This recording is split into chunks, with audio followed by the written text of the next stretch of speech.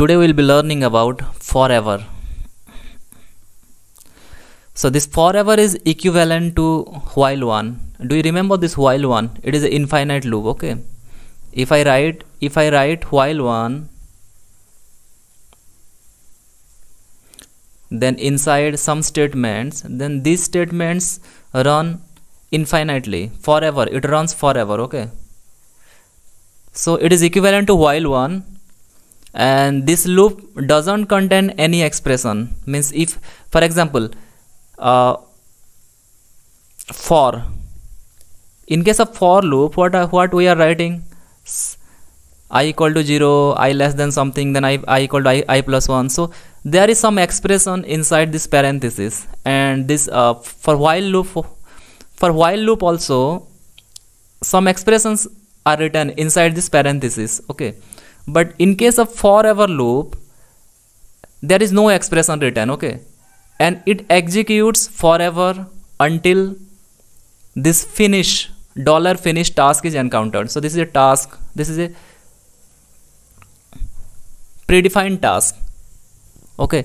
Or we can say inbuilt task provided by your verilog library. So this that what you have to remember is there is no expression for this uh, it doesn't contain this loop doesn't contain this loop doesn't contain any expression and it executes forever until uh, the forever encounters a dollar finish task. It can be exited by the use of disable statement or if you if you include a disable statement then your forever loop can be exited or your forever loop comes out from that uh, particular block okay? For that we have to include disable statement. It should be used in test bench code and not in module. So normally this forever is not used uh, while designing a digital logic. So we don't write forever for uh, module inside a module but it is normally written inside uh, it is used for test bench test bench writing okay? It always occur within always an initial block task but cannot directly within a module. Means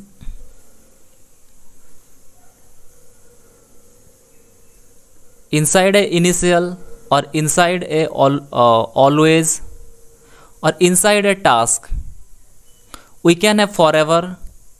Inside task we can have forever. We can write forever inside always. And inside initial block also we can write forever but not inside a module. Inside module normally we do not write forever loop okay? But inside task inside always and inside this initial block it is allowed. So this is one example uh, generating clock forever using this uh, forever loop. So how to generate a clock? This is a clock right? So this is uh, so initial begin clock equal to 0 the first one is clock equal to 0 this this one. So it is so it is initialized to 0 the first one is clock equal to 0 then forever. Then begin. Then clock equal to inverted of clock. So this 0 is inverted to 1 and it is assigned to 6 uh, sorry it is assigned to clock after 6 nanosecond. So this one is 6 nanosecond. After 6 nanosecond it will be 1 okay. Then after 4 nanosecond again this is inverted so after 4 nanosecond it will stay there for 4 nanosecond. Then it will be again inverted to 0 so it runs continuously. Forever begin. It, it runs continuously. And what is the uh, time for this uh, single clock? And this is a 10 nanosecond. For this positive part for this positive part it is 4 nanosecond. And for this negative part means you're for 0 for logic level low for 6 nanosecond it is active for 6 nanosecond. This uh, logic level low and this logic one is active for 4 nanosecond. So it is an infinite loop. If you implement the same code in your simulator then you can see this waveform this waveform. Okay i got this waveform okay in ModelSim. So this is uh, this one is uh, 4 nanosecond sorry this one is 6 nanosecond and this one is 4 nanosecond okay 6 6 nanosecond 4 nanosecond. So this runs forever. Whatever is written see and what what is what has been mentioned here it doesn't contain any expression like uh, other loops like for loop and while loop. So inside the there is no parenthesis. See you can see here forever. After forever there is a begin and end. Okay so there is no there is no parenthesis. So there is no expression because there is no parenthesis no expression for forever loop. So whatever we have to write inside the forever forever only we have to write. There is no conditions because once forever loop is encountered then it runs continuously. It runs forever. Okay. So this is one example. So another example is uh, generating clock forever. This is another example. Okay so raise oscillate a module raise oscillate initial begin. Then we are initializing this oscillate signal to 0 so first one will be 0 and this 0 will be for 30 nanosecond. This 0 will be for 30 nanosecond. Then it will oscillate to then it will be 1 then it will remain there for 30 nanosecond. See this 30 nanosecond. So this is a forever. So this this gives you a clock signal which runs forever and the duty cycle is 50% because this uh, the duty cycle means this duty cycle means this one means the positive part this uh, this uh,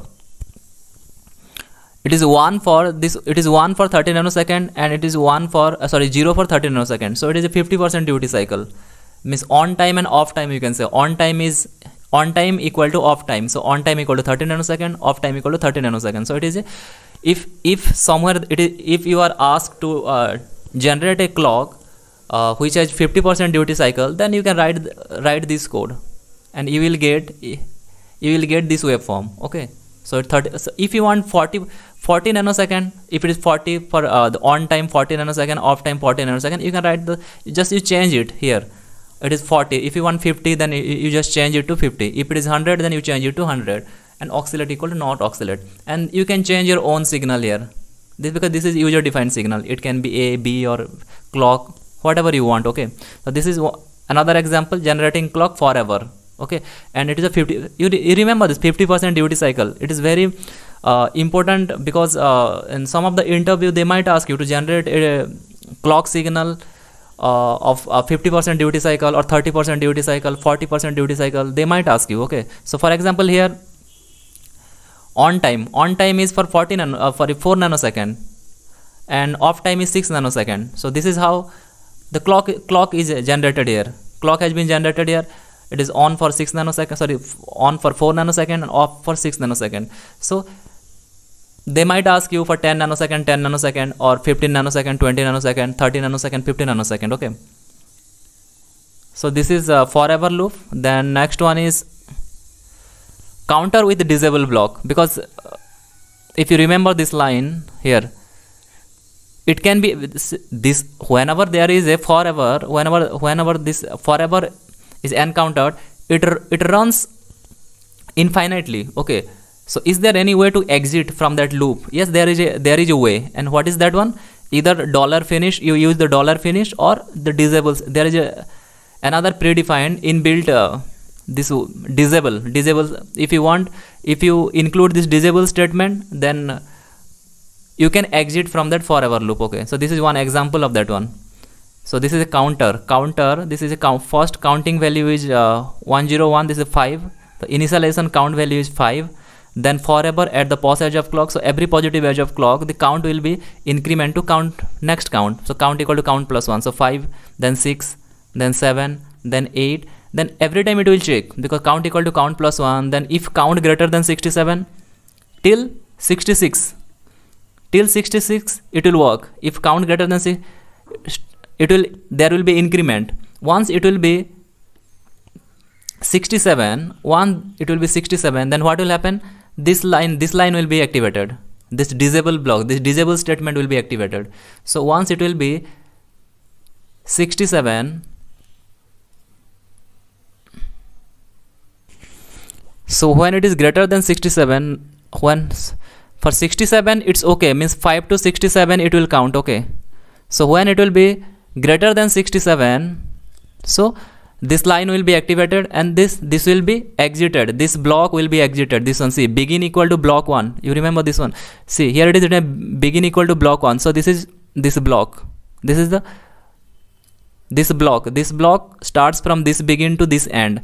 So once this statement is false this condition is false this count is gr greater than 67 means 68 one count will be 68 then disable block 1 and this block will be disabled. And inside this block forever is there. So forever won't run again. Okay. So there then next is end module. So in this way you can exit from this forever loop. Okay. But you have to remember this one begin colon block one. It is allowed. It is allowed in verilog in this way okay? Begin this is a naming block we can say okay? Uh, begin uh, colon block one then disable block one okay? Then this block will be exited. Once the condition is not met.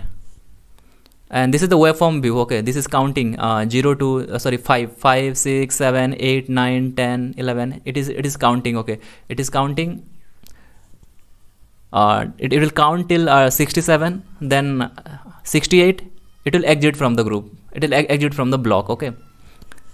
So this is very helpful one uh, to exit from your forever loop that you should remember this one. And this is the oscillate one. You remember this one this oscillate uh, this 50% uh, duty cycle. Uh, this is this is the waveform view okay for this one this code this code.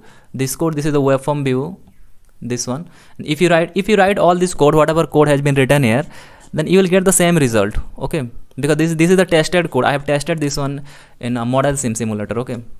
So i hope that you learned uh, this uh, details in details about this forever loop and how to exit from the forever loops and how to generate a clock of different different duty cycles and using the forever loop. So if you like the content then please press the like button then subscribe this channel and thank you so much for watching